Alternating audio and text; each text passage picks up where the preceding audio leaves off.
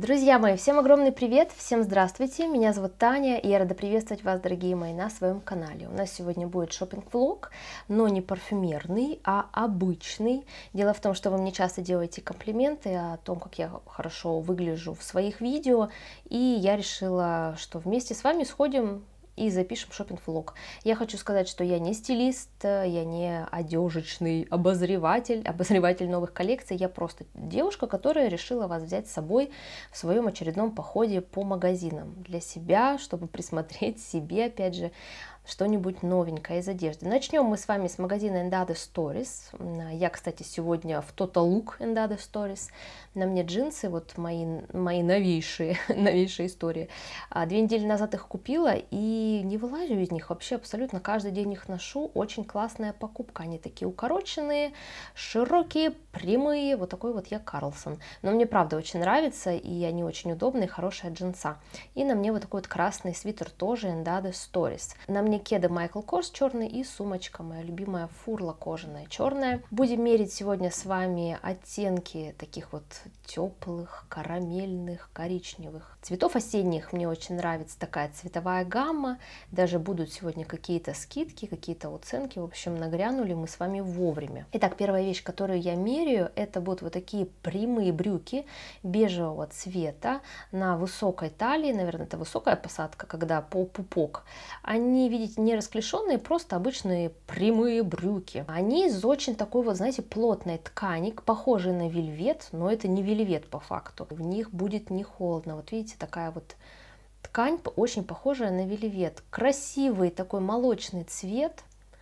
А, не знаю, насколько в Москве это удобоваримая вообще одежда на осень. Бежевая, белая. Кстати, я в ботильонах тоже бежевых замшевых на таком низком каблучке остроносах, ну, чтобы было интереснее мерить одежду, чтобы все подходило. Стоят они 5500 рублей, и вот все бы хорошо, если бы не то, что вот на попе, я не знаю, видно вам или нет, сзади просвечивается белье. На мне сегодня темное белье, и судя по всему, оно очень сильно просвечивается. Я не знаю, если кого-то это не беспокоит, то окей, но меня, честно говоря, это смущает. Следующая вещица это вот такой вот жилет. Сейчас очень модно э, носить жилеты. Я смотрю, что просто в каждом магазине лежат разные шоколадные, черные, любых оттенков и цветов, и фасонов жилеты и шерстяные, и тоненькие, всякие разные. Ну, в общем, вот такой вот шоколадный теплый жилет с высоким горлом, я меряю на футболку, но это не очень выглядит, как мне кажется. Вот я решила ее немножко заправить.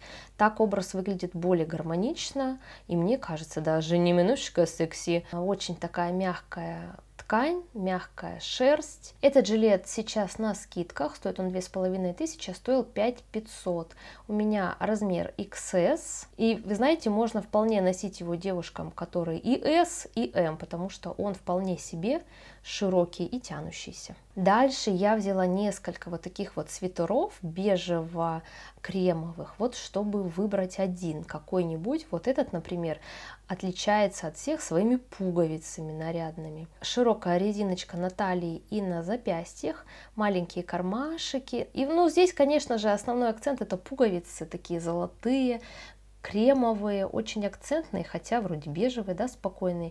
Интересная вязка, необычная. И вот так это все выглядит вместе с моими молочными брюками.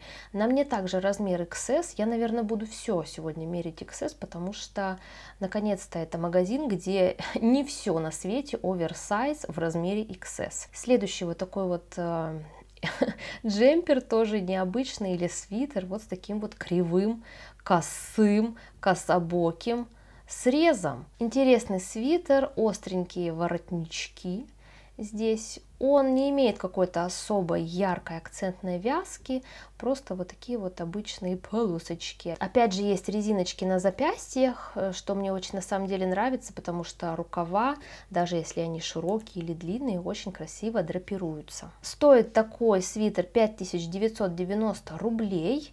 Он тоже очень мягкий, хотя шерстяной, ничего не колется. Ну и следующий свитер, ой, он такой милашистый, просто посмотрите, что это бумпон, помпоны, бубоны из шерсти, они такие большие на самом деле, они очень такие акцентные, и когда вы ходите и двигаете рукой, они все шевелятся. Такой вот он милый, такой нежный, такой женственный, очень интересная вязка на горловине. Резиночки на рукавах, на талии есть, и вот также разная вязка в виде широких и тоненьких косичек. Как вам этот свитер, напишите, пожалуйста. Дело в том, что я бы его взяла бы, конечно же, потому что мне действительно такие вещи очень нравятся. Они вроде бы простые, но акцентные. Но есть в этой вещи одно большое но. Она вещь новая, но дело в том, что когда ты смотришь на вот эти вот бомбончики вблизи, посмотрите, они уже все в катышках хотя, да, вещь висит в магазине, она абсолютно новая. Вот, я постаралась вам показать максимально близко. Вот, видите, все абсолютно бомбончики, они в катышках. Что же будет дальше? Что же будет, если эту вещь постирать? В общем, я не люблю, когда вокруг вещи надо кружить с бубном там как-то на руках ее стирать и все такое. Цена этого свитера 10 990 рублей, наверняка потому что он действительно сложно выполнен, и он действительно акцентный, яркий и красивый. Следующая вещь, которая просто незаменима абсолютно в любом гардеробе любой девушки, это тренч, классический бежевый тренч, он 100% э, хлопковый, он мне понравился своей длиной, своим цветом, своей формой и своим дизайном. Вот он просто классический в доску, посмотрите. Я, кстати, невысокого роста, я метр шестьдесят три, и мне вот он практически по щиколотке. Мне это нравится, немножко видны брюки из-под этого тренча, но мне кажется, что даже при моем небольшом росте он не делает меня как-то еще меньше. Вот все бы хорошо, да, но Дело в том, что вроде как вещь отутюженная, отпаренная, но мне кажется, она какая-то волнистая. Вот все строчки, да, вот все швы, вроде бы все нормально, но они какие-то волнистые. Может быть, это не до конца хорошо отпарили, либо отгладили, но мне кажется, дело не в этом. Поэтому стоит здесь об этом сказать, потому что вещь хорошая, но она вот по швам, видите, она какая-то волнистая. Меня это, честно говоря, смущает. Я завязала ремень, вот так вот это дело все выглядит. Так образ получается более женственным и показывающим фигурку. Взяла в руки свою сумочку черную. Давайте посмотрим, как образ будет выглядеть в целом. Вот мне нравится такой стиль, хотя вот мне уже 33 года, и я все еще, вы знаете, в поиске своего, ну так скажем, фирменного стиля не могу найти. Каждый год меня штормит. То я ухожу в более спортивный стиль, то в более какой-то классический, то покупаю костюмы, то потом покупаю какие-то шерстяные костюмы, то спортивные. В общем, это, это просто бесконечный какой-то круг, и я до сих пор не могу прийти к своему собственному стилю. Не хватает в моем гардеробе вот такой вот классической черной сатиновой юбки. Очень классная на самом деле вещь, в данном случае она мне не подходит, потому что она просто огромная, хотя я взяла раз, размер самый маленький, 34 Сатиновая обычная классическая юбка, вот длинная, ее очень здорово будет сочетать просто со всем. Но она мне большая, поэтому, конечно же, однозначно нет. Но, девочки, кто в поиске такой юбки, посмотрите, вот здесь в магазине в этом она имеется. Причем она есть в разных цветах, и в коричневых, и в бежевых, тауповых, и черных рядом с примерочной стоял вот такой вот манекен, или как это называется, в общем, был представлен вот такой вот лук. А, он мне, честно говоря, очень понравился. Мне кажется, это сто процентов э, в моем стиле. Я бы с удовольствием так носила. Это вот такое вот пальто, мини-юбка и белая такая красивая резная рубашка. Мне настолько понравилось, что, честно говоря, девочки, я решила этот образ померить. Может быть, это как-то странно выглядит для осенней погоды московской. Я согласна абсолютно с вами, я не знаю. То есть я надеваю пальто теплое, шерстяное, оно тяжелое, оно прям реально теплое. И в тот же момент я надеваю вот такую вот мини-юбку, которая, ну прям, видите, прям супер экстра мини.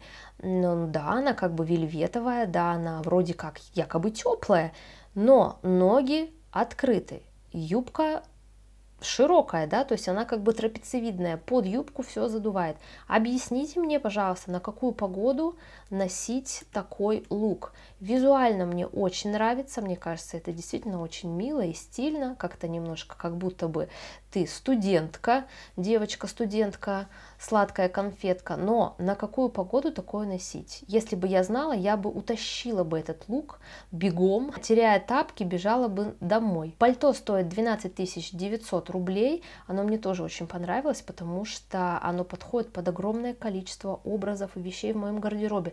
Даже вот сегодняшний лук, да, мои джинсы, кеды, черная сумка, я просто надеваю пальто синее, и выгляжу уже просто, как мне кажется, очень даже стильно. И нечитаемая здесь абсолютно дорогая эта вещь, дешевая эта вещь, она просто очень хорошо выглядит без лейблов, без каких-то особых ярких акцентов. Классический, красивый, сдержанный, элегантный образ у меня получился. Мне, честно говоря, очень-очень понравился. Здесь я решила померить уже со своим красным свитером, в котором я сегодня, собственно, пришла в магазин. Хотела посмотреть, как будет выглядеть образ уже прям полноценно, так как я бы спокойненько взяла бы и ушла домой. Вот. Очень красивое сочетание красного и такого navy blue, да, navy navy синего, такого морского синего цвета. Давайте покажу вам ботиночки, которые все это время были на мне. Это замша натуральная, 15 990 рублей. Мягкие, удобные, очень комфортные, несмотря на то, что здесь каблучок маленький. Но правда, правда очень классный, удобный, нигде ничего не давит, очень мягкие ботиночки.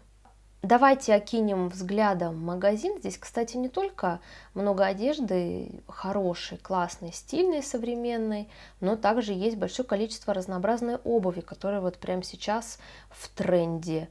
А кроме того, что в тренде, здесь очень много базовых моделей. Посмотрите, даже видно это по цветам. Итак, я уже стою на кассе и хотела вам показать, что случилось с этим пальто замечательным после моих примерок. Мерила я его, как вы помните, и на футболку, и на свитер мой красный. И посмотрите, как много волосиков и вообще всякого хлама налипло на это пальто. Итак, мы с вами двигаемся в магазин Тумут. Это магазин, я вообще его как-то раньше не видела, не замечала. В общем, как только переехали, у меня прям открытие за открытием. Магазин Тумут. Это российские дизайнеры шьется одежда в Екатеринбурге, если я не ошибаюсь. Здесь также есть не только различная одежда, но также есть и обувь. Очень такие классические, классные, базовые ботильончики вот мне запали в душу. Также есть акцентный леопард.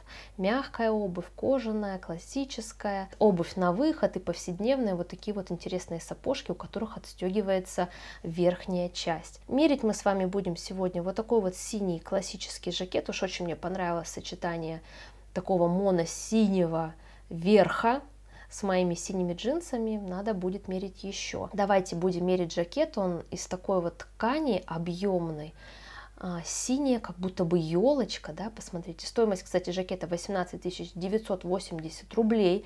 Немало, соглашусь, но когда я начала его мерить, я поняла, что качество просто крутое, просто люксовое. И также буду мерить за 9 980 рублей вот такой вот бадлончик. Вот так вот образ выглядит в целом.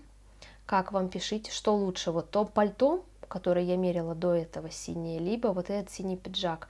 Не прикопаться к качеству этого жакета. Как правильно девочки говорят, жакета или пиджака, напишите мне. Не прикопаешься, вот просто вещь из премиум сегмента, если уж не люкса точно. Вот такой вот бадлончик, он, честно говоря, вот скукожился у меня, видите, на талии, потому что там пищалка находится и не очень удобно мерить. Вот такой вот классический у меня образ получился немножко даже мужской где-то. Жакет мне по качеству очень сильно понравился, но я его не возьму точно, потому что мне хочется, опять же, как я уже сказала, чего-то более насыщенно синего в этот образ, в этот комплект. Дальше я решила померить вот такой вот свитшот красивого серого, не превращающего тебя в мышь, серого цвета. Есть резиночки на запястьях. Эта вещь с начесом, она очень мягкая, она очень комфортная, она действительно согревающая. Это размер на мне, кстати, XS, и вот он, видите, какой большой. он прям, знаете, с намеком на то, что можно и забеременеть, и как бы всю беременность в нем проходить. Сверху я решила надеть дутый бомбер винного, сочного, красивого цвета. Мне очень нравится вообще на самом деле бомберы. Здесь такое двойное, двойное горло и двойные вот такие манжеты интересные. Он утепленный, он дутый, резиночка снизу тебя защищает от задувания ветром. Но дело в том, что он настолько дутый, что как бы сложно опустить руки, они постоянно на каком-то весу, получается, как будто бы мешает тебе опустить полноценно руки. Это очень странное ощущение, ну, оно за счет того, что а, эта куртка, этот а, бомбер, он как бы утепленный, дутый. Дальше я буду мерить очень легкое женственное платьишко на резиночке. Посмотрите, вот такая вот селяночка просто. Вот такой вот рустик. Абсолютно не по сезону а, такой вот лук, но мне очень захотелось такое легкое, летящее платье, оно необычное, посмотрите, здесь вот как-то ткань собрана, какими-то запахами, где-то меньше ткани, где-то больше, где-то напуск, где-то его нету. Короче, платье интересное, действительно какое-то дизайнерское, что ли, какой-то необычный у него дизайн. Не просто все так. И сверху на мне обычно такой вот а, классический бабушкин свитер на пуговичках укороченный, но рукава длинные. Видите, я их даже немножко закатала. Все вместе выглядит очень легко, как мне кажется, мило и женственно. Также я нашла это же платье, только в более пудрово-розово-фиолетовом оттенке. И вот в магазине сочетают его вот с таким вот широким большим свитером, немножко даже в дырочку. Очень мило выглядит. Небольшой обзорчик магазина у нас получился, а я ухожу с покупками.